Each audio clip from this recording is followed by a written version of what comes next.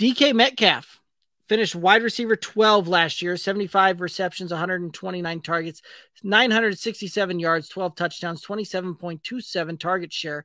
Thoughts on DK Metcalf? I'm selling Metcalf. I, I, I don't want any part of him. I don't trust the quarterback situation.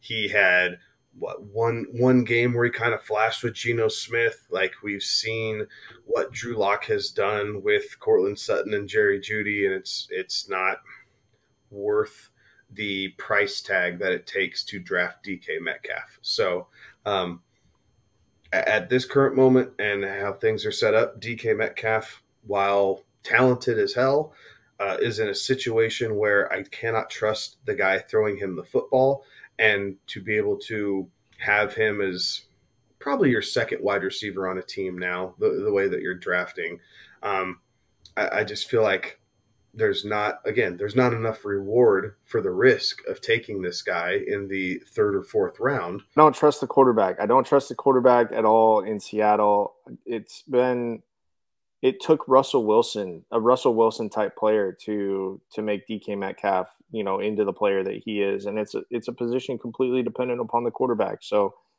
when you don't trust the quarterback, you know, it's hard to to overcome that. I say all that to say this: I'm I'm also out on DK Metcalf. I'm not looking at him. There's plenty of talented wide receivers in this league, and there's plenty of um, really good receivers that have better quarterback situations than what DK Metcalf has in Seattle. Seattle in the past has thrown the ball more than I think Pete Carroll necessarily wants to throw the ball because of uh, they had Russell Wilson behind center and they were willing to let him air it out and do Russell Wilson type things.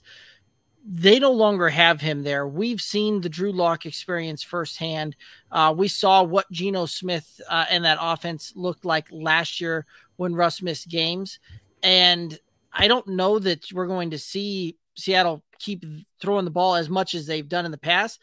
And so last year, right, like just to kind of put this in perspective, we were talking uh, a couple weeks ago about Darnell Mooney, who had 28% of the target share and was seeing 150%, 150 target type of range there, right? DK Metcalf last year saw 27% of the target share and didn't crack 130 targets. So again, I think that this pie ends up shrinking more so on this one to the point where Seattle throws the ball less. They probably increase their run ratio, decrease their pass ratio, make this where it's almost a 50 50 split run to pass ratio on this one.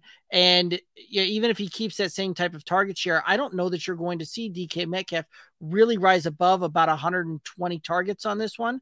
And I don't want a guy that I'm going to have to draft with the third round uh, capital wide receiver 15 that's only going to get me around about 120 targets, I think, as the ceiling on this one. I get just I don't see the a way to return value unless he's consistently taking those things to the house. Uh, you look at the fact that he had 12 touchdowns last year, which really is what brought him up into wide receiver one territory. I see him regressing towards the mean on this one as well, and him probably going back down to maybe six, seven touchdowns when it's all said and done. So I, I think it's very realistically you see an outcome of somewhere around wide receiver 22 to 26